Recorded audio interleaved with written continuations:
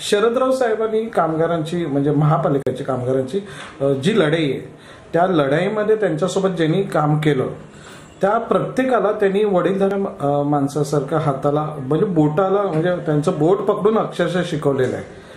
तर कुठेतरी शरदरावांनी जे तुम्हाला टिप्स दिले त्या टिप्स आजही तुमच्या स्मरणात आहे. तुम्ही वागतही असाल ते त्याचं स्मरणही करत असाल आणि तसं तुम्ही ते चालतही असाल त्यावेळी.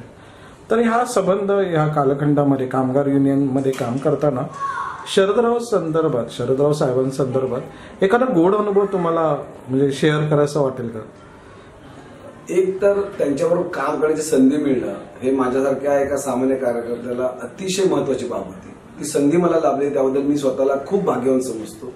एक की त्यांच्याबरोबर काम करण्याची जी पद्धत होती ती नेहमी सांगायची एखादा प्रश्न भूमिका तुम्ही जर घेणार असेल तर ती बाब महापालिका कर्मचाऱ्यांच्या बाबतीत जर बोलत झालं तर कर्मचाऱ्या बाबतीत बोलत झालं तर ती महापालिका कर्मचाऱ्यांना का मिळाली पाहिजे?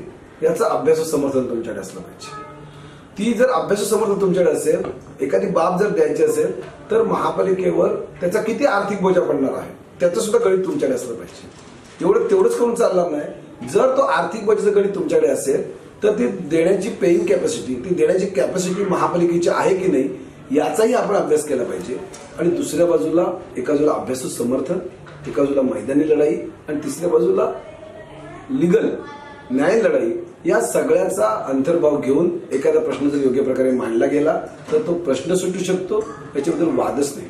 आणि त्याने नेहमी असं सांगितलं की या सगळं काम करताना अनेक टीका होतील अनेक लोक पेपरमध्ये किंवा कुठल्याही माध्यमातून किंवा कोणी आपल्यावर टीका करायचा प्रयत्न करेल.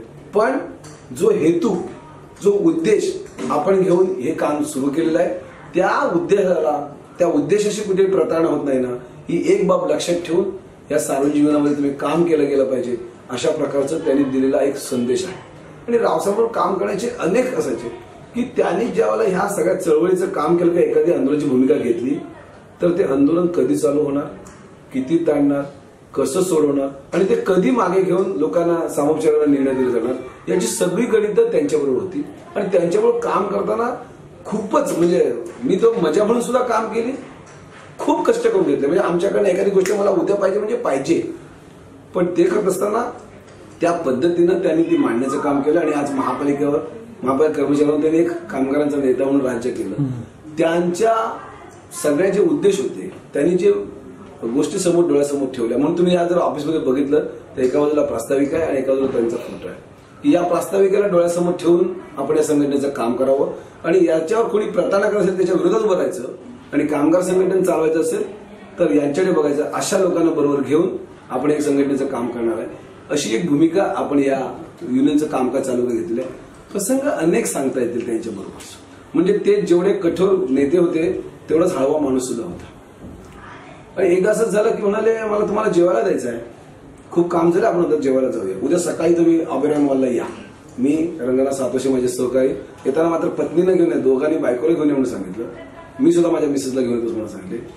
अभिराम मॉलला सकाळी सात वाजता आम्ही जमा झालो. आता म्हणाले नाही एका याच्यामध्ये सगळ्या महिला बसतील म्हणजे लेडीज बसतील एकामध्ये आम्ही सगळे जेंट्स आणि म्हणाले चला. आणि आम्हाला जेवणासाठी गुजरातला घेऊन गेले. तिथे जेवण घातलं घेऊन आले. म्हणजे असा मोठा माणूस प्रचंड काम सुद्धा करून घ्यायचं आणि तेवढंच एक प्रेमानं खाऊ सुद्धा घालायचं. त्यामुळे त्यांच्याबरोबर काम करताना कधीही बोज वाटला नाही. उलट त्याच्यातून अनेक गोष्टी शिकायला मिळाल्या. एक तीस वर्ष त्यांच्याबरोबर मला प्र- काम करण्याची त्यांची जवळून संधी मिळाली आणि त्याचं बेनिफिट आज इथं हे कामगार संघटना चालवताना मला त्याचा होतोय. आणि त्यांनी केलेलं काम त्यांच्या कामाची पद्धत त्यांची मांडणी एखादा प्रस्ताव कसा तयार करायचा त्याचा चारी बाजूने विचार कसा करायचा या सगळ्या गोष्टी आम्हाला अभ्यासाला मिळाल्या काम करायला मिळालं आणि त्याचा बेनिफिट आता मला होतोय आणि त्याचा नक्कीच उपयोग या कर्मचाऱ्यांची संघटन चालण्यासाठी होईल एवढं मला नक्की सांगायचं